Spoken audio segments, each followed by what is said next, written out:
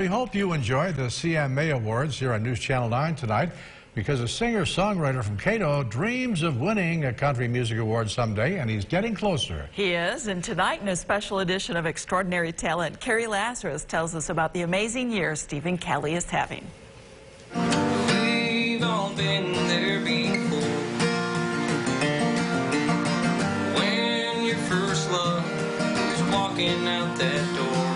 It's a country music cliche. Girl breaks your heart, you write a song. You took the best of me there with you. But Steven Cali is not your typical country singer. and uh, I'm a turkey grower for Plainville. What's standing between you being a farmer by day and a musician by night? Um, just security. You know, I just, at the end of the day, you know, I just bought a house and I have bills to pay. One year after we did that interview, Steven Cali is now paying the bills with his music.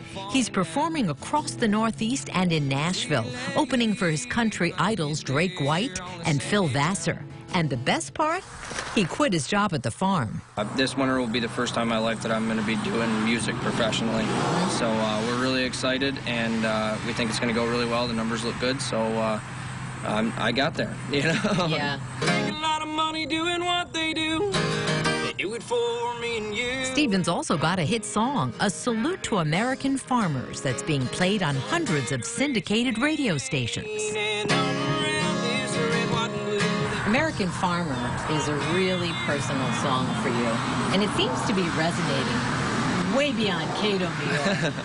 I wrote it actually while I was in a barn one day. I started writing that song, and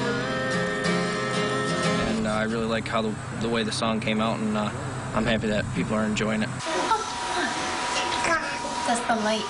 And there's more good news. Steven and Lauren now have two beautiful babies. Yeah, that's my little boy. Lily has a brother named Sawyer. As long as I can support the family, that's all that matters. So, and as long as bills are paid and the food's on the table, and you're making music. Yes, ma'am. Steven Cali will be part of a fabulous cast of young talent performing on Extraordinary Live Tuesday, December 18th at 9 o'clock right here on News Channel 9. Rod and Christie?